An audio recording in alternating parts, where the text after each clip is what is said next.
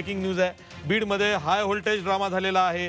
दोन उमेदवार एक राज्याचे मंत्री आणि त्यांचे पुतणे. जे ते सुद्धा उमेदवार आहेत. त्यांच्यामध्ये वादावादी झाली. दोघांमध्ये झुंपली बोगस मतदानासाठी आलेल्यांना पकडलं गेलं आणि त्यावरनं हा ड्रामा तिथे झालेला आहे. एक मोठं नाट्य रंगलेलं आहे. जयदत्त क्षीरसागर विरुद्ध संदीप क्षीरसागर. अशी ती जुंपलेली आहे बघा. आपण दृश्य बघतो आहोत.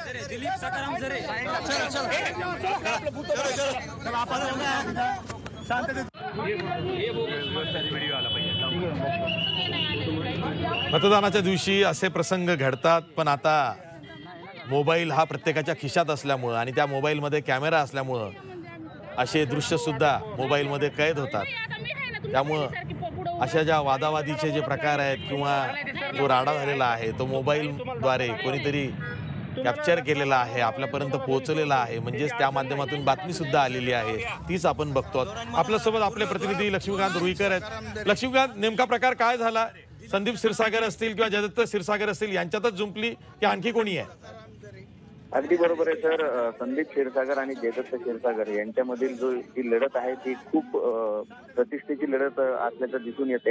चार दिवसापूर्वी संदीप क्षीरसागर यांनी जयदत्त क्षीरसागर यांच्यासाठी पैसे वाटणाऱ्या एका शिवसेनेच्या कार्यकर्त्याला अटक केली होती पकडलं होतं आणि पोलिसांच्या ताब्यात दिलं होतं. त्यानंतर आज सकाळपासूनच संदीप क्षीरसागर हे प्रत्येक बूथवर प्रत्येक मतदान केंद्रावर जाऊन मतदान कशा पद्धतीने होतं याची माहिती घेत होते आणि त्या दरम्यान बीड शहरातील एका मतदान केंद्राच्या बाहेर पाटोदा येथील जयदत्त क्षीरसागर यांच्या सीडीपी कॉलेज जे आहे त्यांचं स्वतःचं त्या कॉलेजमधील काही कर्मचारी शिक्षक हे त्या ठिकाणी मतदानासाठी आल्याचं जेव्हा लक्षात आलं. त्यांच्याकडे चौकशी केली असता त्यांचं आधार कार्ड असेल त्यांचं आय कार्ड असेल हे सगळं बोगस होतं. आणि जवळपास वीस ते पंचवीस आपल्यासोबत शिवसेनेचे उमेदवार राज्याचे मंत्री जयदत्त क्षीरसागर आहेत. सर आशिष जाधव बोलतोय. झी चोवीस तासवर तुमचं स्वागत आहे. नेमका काय प्रकार झालाय? कशाला तुम्ही आक्षेप घेतलाय? जयदत्त क्षीरसागर. कोणी कोणी आक्षेप घेतला नाहीये. याच्यामध्ये बीड शहर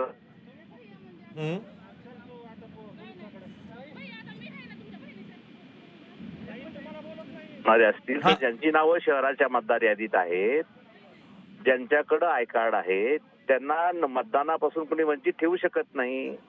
आणि त्यामुळे जे मतदानाला आलेले असतील जे पात्र असतील त्यांचं मतदान होईल. जे चौकटीत निकषात बसत नाहीत कायद्याच्या मताचा अंक नाकारला जाईल. त्याच्याबद्दल अनेक लोकांनी चिंता करू नये ना. ते इलेक्शनच्या ड्युटीवर असले अधिकारी ते निश्चित तपासतील आणि त्याकडे निर्णय घेतील. पण झाला प्रकार जो आहे त्याला तुम्ही कोणाला जबाबदार धरताय? कसला प्रकार झाला? काहीच नाही. रस्त्यावर कोणाला तरी उपवायचं आणि त्यांना विचारायचं तुम्ही कुठे? तुम्ही संस्थेत काम करतात. कुठं करतात? खेड्यात काम करतात. मग तुम्ही मतदानाला कसे आले त्यामुळे आम्ही बीड शहरात राहतो. बीड शहरात नावाने मतदार यादीत नाव असेल. तरच माणूस मतदानाला जाईल ना?